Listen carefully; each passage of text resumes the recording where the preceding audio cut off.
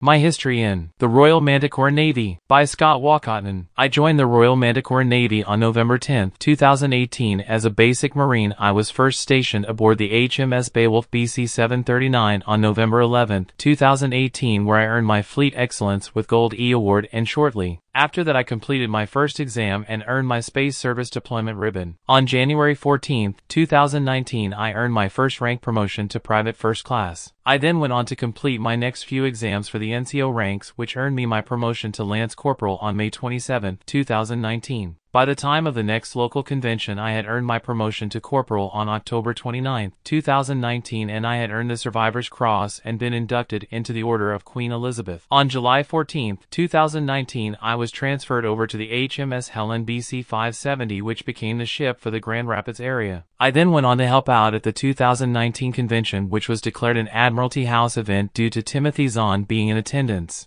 I helped run the recruiting table for the first two days and earned the Havenite Operational Service Medal and the Havenite War Campaign Medal. By the middle of 2020, I have earned the rank of platoon sergeant on April 25, 2020. I also got my MOS assignment as military police on January 15, 2020, and I have earned my promotion to staff sergeant on 31st August 2020. In 2021, I attended Grand Rapids Comic Con to help work the table for my second year as a member of the Royal Manticoran Navy and was awarded the Conspicuous Bravery Medal. I have reached the fourth highest rank as an enlisted member. I was promoted to Master Sergeant on March 5, 2022. I was awarded on October 1, 2022 the Royal Manticoran Army Combat Infantry Badge.